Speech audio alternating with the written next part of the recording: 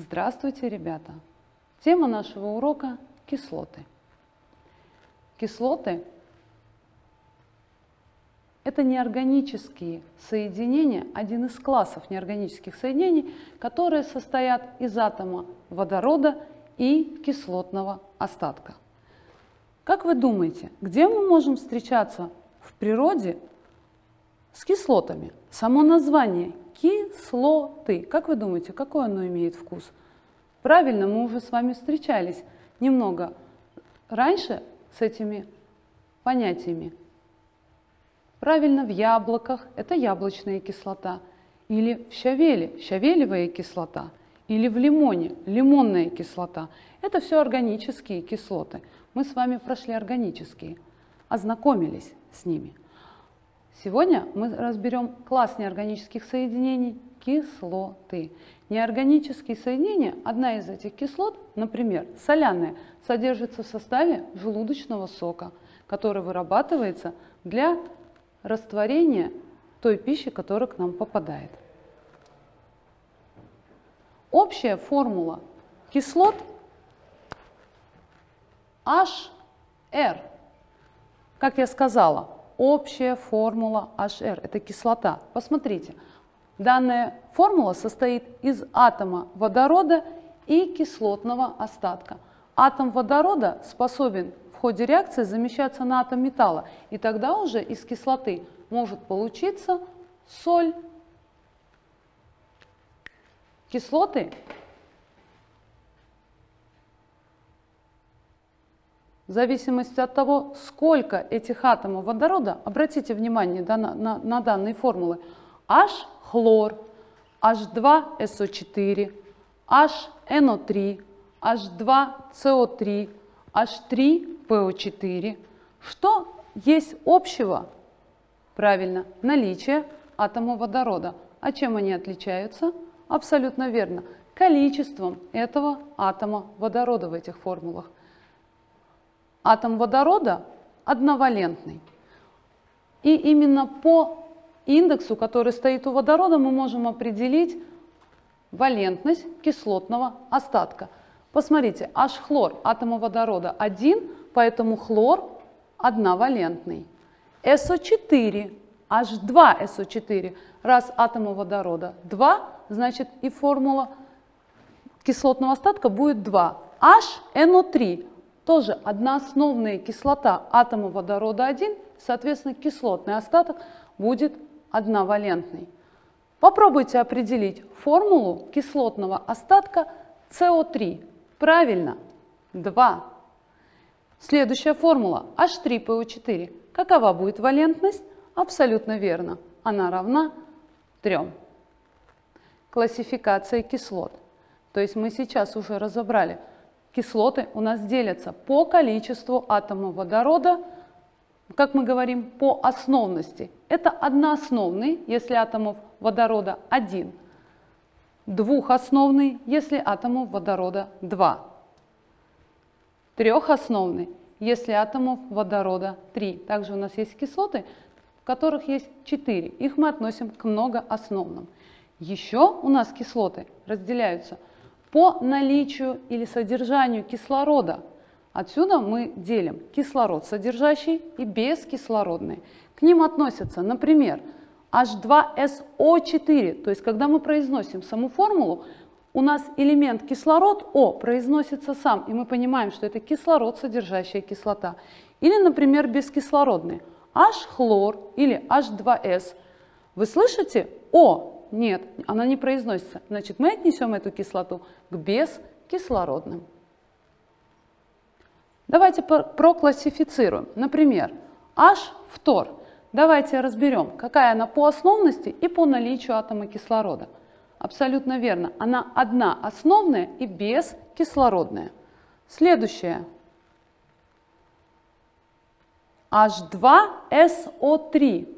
По основности абсолютно верно. Она двухосновная и по содержанию кислорода, еще раз, H2SO3. Правильно, вы слышите кислород, поэтому она относится к кислород содержащим. Физические свойства кислот. Растворы, как мы сказали, имеют кислый вкус. Кислый вкус дает наличие присутствия ионов водорода. Также они бывают разные по агрегатному состоянию. Например, такие кислоты, как ортофосфорная или борная, они относятся к твердым. Жидкие H2SO4, HNO3, H-хлор, растворимые и нерастворимые. К нерастворимым относятся кремниевая кислота. Она обычно выпадает в виде осадка. Изменение окраски индикатора. В зависимости от того, какой индикатор мы используем, а индикатор это вещество, которое определяет наличие среды, как я вам сказала, в молекуле кислоты у нас есть ионы водорода. Именно они придают кислую среду данному веществу. В кислой среде лакмус у нас становится красным. Метилоранж у нас тоже меняет от оранжевого ближе к красному, то есть он приобретает немного розоватый оттенок. Но фенолфталин абсолютно не подвержен действию, он не меняет никак свою окраску. Итак, разрушает кожу, ткани и древесину. То есть какой мы можем сделать вывод? Правильно, при взаимодействии или при работе с кислотами мы обязательно должны соблюдать правила безопасности. Если, например, кислота капнула нам на кожу, мы можем нейтрализовать ее действием соды, потому что сода – это щелочь, а щелочь нейтрализует кислоту. Это свойство мы прошли с вами на прошлом уроке, когда изучали химические свойства оснований. Давайте разберем химические свойства кислот. При взаимодействии металлов с кислотами, когда кислота действует на металл, у нас кислота выделяет водород, то есть металл вытесняет атом водорода и образует с кислотным остатком кисло... соль. Но у нас есть так называемый ряд Бикетова, то есть это ряд активности металлов. У нас металлы делятся на активные, это металлы первой и второй группы, среднеактивные и неактивные.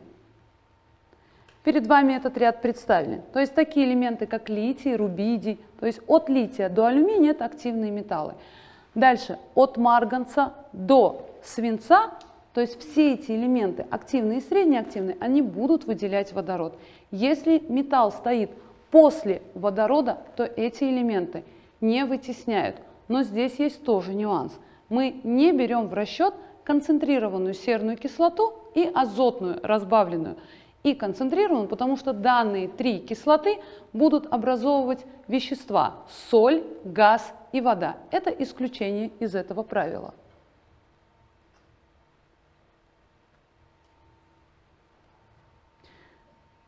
Бекетов Николай Николаевич, именно он открыл а, данный ряд, который у вас представлен в учебнике.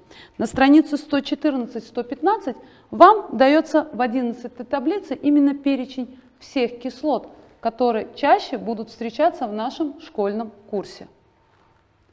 Химические свойства. Следующее – взаимодействие с оксидами. Основные оксиды взаимодействуют кислотами, образуя соль и воду. Это свойство для вас также не является новым, потому что эту тему мы проходили, когда изучали химические свойства оксидов. Следующее свойство взаимодействия с основаниями.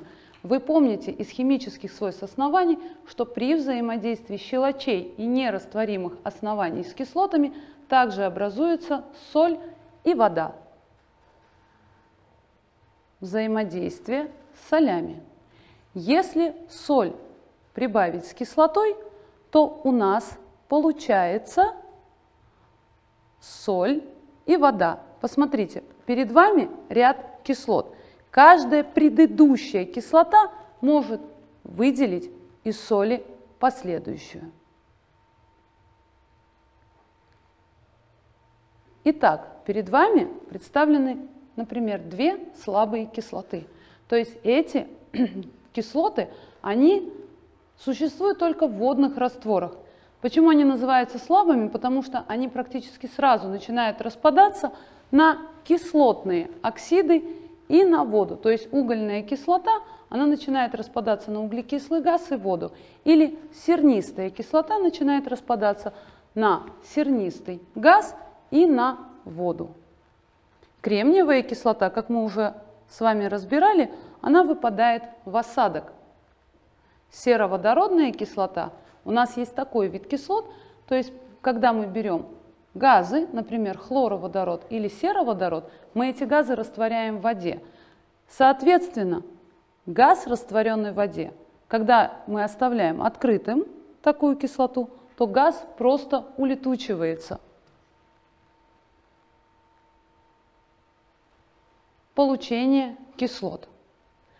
Бескислородные кислоты получают при взаимодействии не металлов с водородом. Кислород, содержащие кислоты, чаще всего получают при взаимодействии кислотных оксидов с водой. Есть еще одно свойство – это взаимодействие соли и кислоты.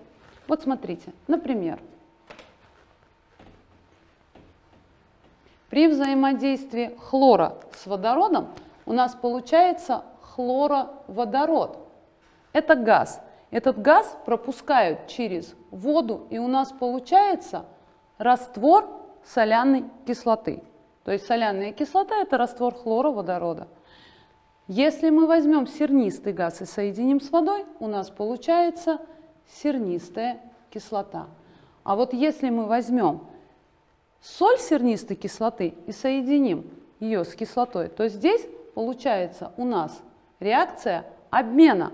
То есть натрий будет соединяться с кислотным остатком от серной кислоты с образованием другой уже соли сульфата. И будет образовываться другая кислота, H2SO3. Но обратите внимание, я только что вам говорила, что сернистая кислота, она слабая, и она не будет оставаться в таком виде. Она будет распадаться на сернистый газ и на воду. Я бы хотела сейчас еще обратить ваше внимание, где вы можете столкнуться с кислотами, например, и оказать себе первую помощь. Кто-нибудь из вас когда-нибудь попадал в крапиву, либо в муравейник, вас покусали муравьи. Какой был эффект? Правильно, у вас начался зуд, очень сильно чесалось, и что вы обычно, какую вы себе первую помощь оказывали? Чаще всего, абсолютно верно, вы начинаете смывать водой. Этого ни в коем случае нельзя делать, потому что в кислоте есть большое содержание ионов водорода. И в воде эти ионы водорода также присутствуют. Когда вы начинаете помещать руку под воду, вода начинает усиливать действие кислоты, пока вода течет, как бы, да, так на руку, кажется, становится прохладнее и немножко зуд успокаивается. Но как только вы руку от воды убираете, зуд усиливается – что же делать при этих случаях? Например, вы можете взять тот же раствор соды и просто обработать. Ни в коем случае не помещайте руку в воду. Либо вы можете взять обычный нашатырный спирт, который тоже имеет щелочную среду, и просто протереть места раздражения, и у вас кожа немножко успокоится. Это одно из тех средств, которые вы просто можете столкнуться. Итак, на дом на странице 120 Третье задание. У вас спрашивают, какие из следующих металлов вытесняют водород из соляной кислоты. То есть вы используете, правильно, ряд Бекетова. Например, калий взаимодействует с соляной кислотой. Давайте я вам покажу на первом примере, а дальше вы уже сделаете сами. Предположим, калий плюс формула соляной кислоты вы можете найти в таблице 11 плюс H-хлор. Так как калий является основным активным элементом и стоит он до водорода, то он с легкостью вытесняет водород в газообразном виде, а с кислотным остатком, так как кислота одна основная, то валентность кислотного остатка равна единице. То есть мы соединяем калий с кислотным остатком хлором. Так как калий одновалентный и хлор одновалентный, формула остается также. И уравниваем. На этом наш урок подошел к концу. До свидания, ребята.